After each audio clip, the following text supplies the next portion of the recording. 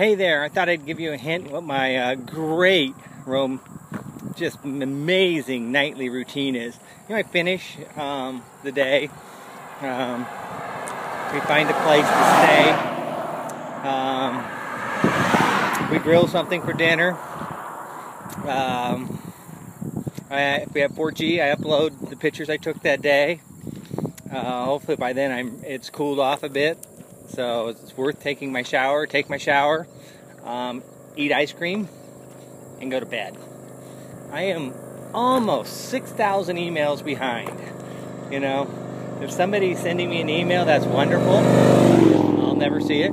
if you don't text me or call me, um, the immediacy is the only way to get hold of me. Uh, there's no way I'll ever I'll ever read these emails. I'll just have to bail and, and delete them all.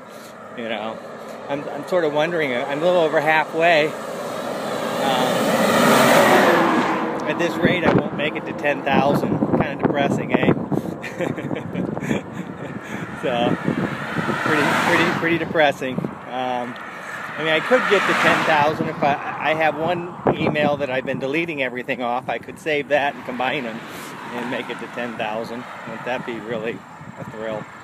So, uh, yeah, pretty exciting routine.